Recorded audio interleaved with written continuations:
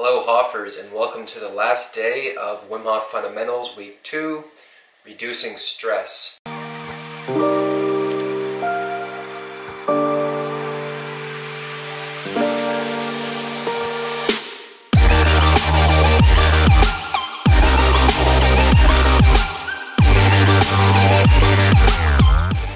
There is a really valuable piece of information I was reminded of this week, and I think there's certain skills in life that are really important in attaining. And what you want to do is diversify yourself in skills that are transferable to all the different areas of life. So things like becoming more self aware, things like being physically healthy, things like your brain working optimally, and things like reducing stress are all things that if you're a professional athlete are going to be valuable. If you're a musician, they're going to make you a better performer. If you're a parent, they're going to make you a more self-aware, caring, and conscious parent. So they're making you a better human being. And skills that do that are the things you want to really load up on. So we're using cold this week as a training ground for becoming better at dealing with stress. As you can see, I have my bowl of ice here since I know you guys you guys are thinking that fire's making everything warm and toasty. But no, there's a lot of ice in here and it's gonna be cold.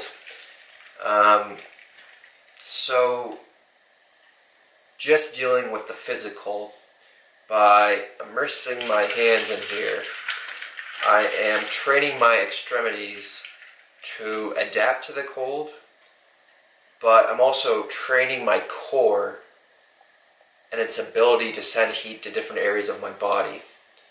So I've been running outside, and the very first thing that gets cold is always my hands.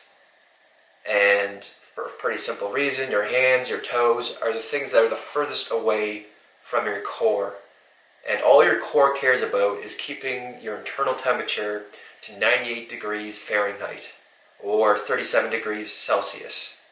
So it pretty much says screw you to the rest of the body. I just got to keep this guy alive. And what we're trying to do is slowly reteach that, slowly retrain that.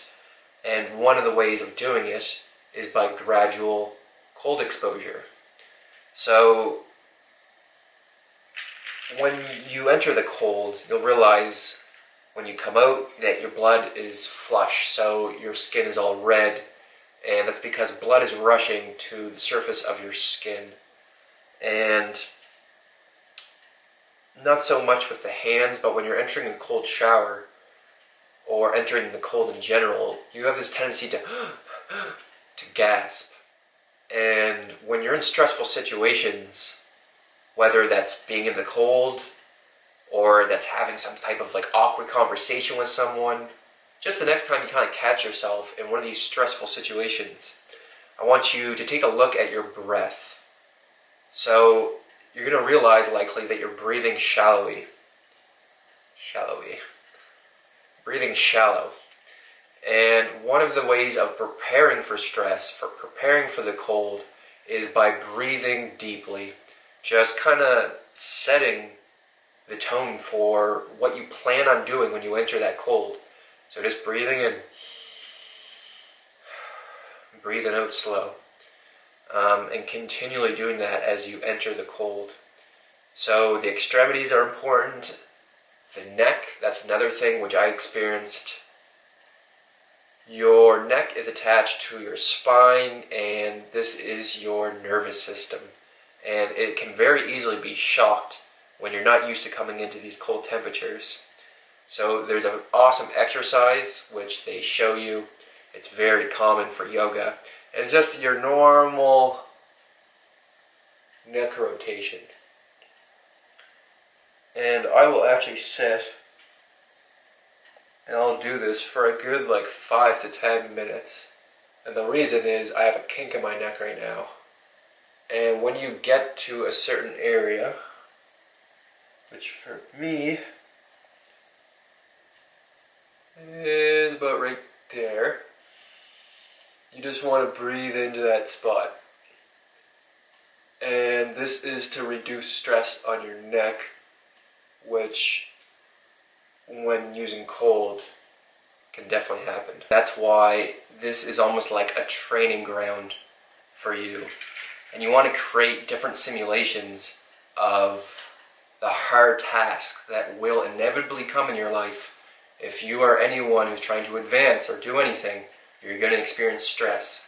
So being prepared for it, you know, that is going to make the difference. Next week will be energy management, which I am super excited about since energy is the thing I'm always after. So I'm interested in seeing what that looks like.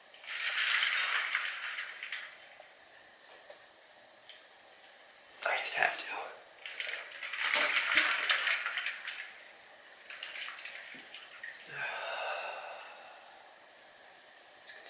If you like this video, give it a thumbs up, and if you're new here, be sure to subscribe and turn on notifications.